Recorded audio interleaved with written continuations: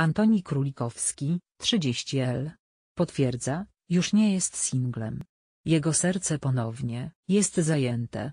Wcześniej był związany ze sporo od siebie młodszą Julią Wieniawą, 20 L. Jego nowa ukochana jest chyba w podobnym wieku co aktorka. Pod koniec roku media obiegła wieść o rozstaniu Antoniego Królikowskiego i Julii Wieniawy. Ich związek trwał dwa lata, lecz ostatecznie nie przetrwał próby czasu. Reklama aktorka nie pozostawała długo singielką. Teraz spotyka się z innym gwiazdorem, tym razem z branży muzycznej. Ona i Baron wybrali się nawet, razem w Alpy. Opublikowali nawet wspólne zdjęcie. Teraz okazuje się, że również jej były, znalazł nową miłość.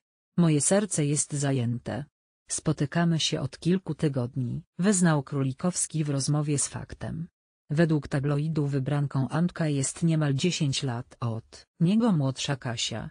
Ponoć marzy o karierze modelki, ale wcale nie chce się pchać na salony. Wręcz przeciwnie, ma woleć spędzać czas z aktorem w domowych pieleszach. Chcemy mieć spokój. To nie jest medialny związek, opowiada Antoni. Zobacz więcej materiałów.